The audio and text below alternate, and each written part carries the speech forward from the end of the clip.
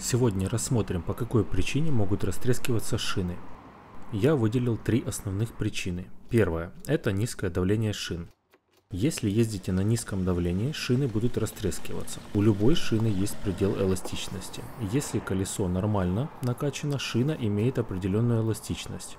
Если колесо спущено, резина будет работать на излом. Это будет вредить. Когда вы ездите на малом давлении, вы очень сильно изнашиваете резину. Начинают появляться трещины. На боковых частях появляется избыточный износ. Вторая причина – это реагенты, которые насыпают дорожные службы на дороге общего пользования.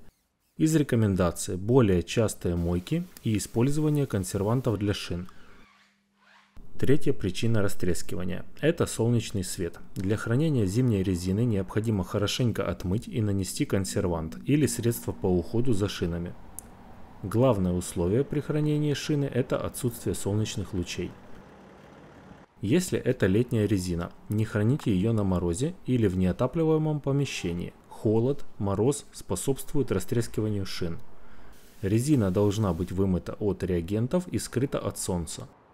Когда наступит сезон ее устанавливать, обязательно накачайте правильное давление. Также обратите внимание на возраст резины. Если резине более 3 лет, могут появляться растрескивания. При выполнении всех этих условий резина будет служить долго и не будет растрескиваться. Надеюсь, это видео будет полезным.